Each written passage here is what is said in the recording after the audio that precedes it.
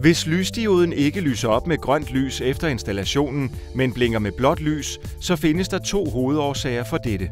Begynd således med fejlsøgningen. Kontroller først alle kabelforbindelser på ladestationen og se også efter, om de er tilsluttet korrekt. Venstre kabel venstre stik, højre kabel højre stik, guidekablets tilslutning. Den anden mulige årsag er afgrænsningskablets forbindelse med guidekablet. Kontroller denne og anvend i tvivlstilfælde en ny forbinder.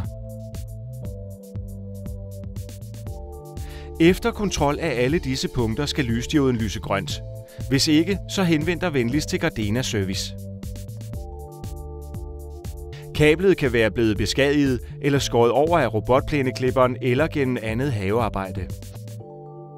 Fordi kablet efter nogle måneder ikke længere er synligt, kan det være vanskeligt at finde frem til det beskadigede sted. Her følger en nyttig fremgangsmåde til søgningen. Tag til oversværende afgrænsningskabel til denne test. Anbring i den ene ende en tilslutningsklemme for ladestationen. Erstat en ende af afgrænsningskablet med testkablet. Træk det nye kabel til midten af afgrænsningskablet.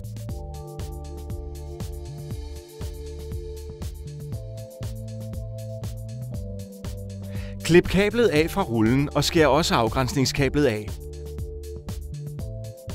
Tag en ny tilslutningsklemme og forbind atter alle tre kabler.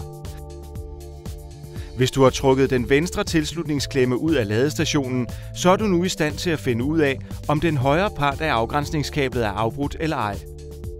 Hvis lyset nu lyser grønt hele tiden, så ved du, at problemet ligger i afgrænsningskablets venstre part. Klip testkablet af og fastgør forbinderen til jorden. Gør nu det samme i midten af den defekte part. Således har du indgrænset det område, hvor du skal søge efter det defekte kabel. Når du har fundet det defekte kabel, så reparer det på følgende måde. Sommetider er kablet ikke langt nok for at kunne arbejde med det. I så fald skal du tilføje noget kabel med en yderligere forbinder.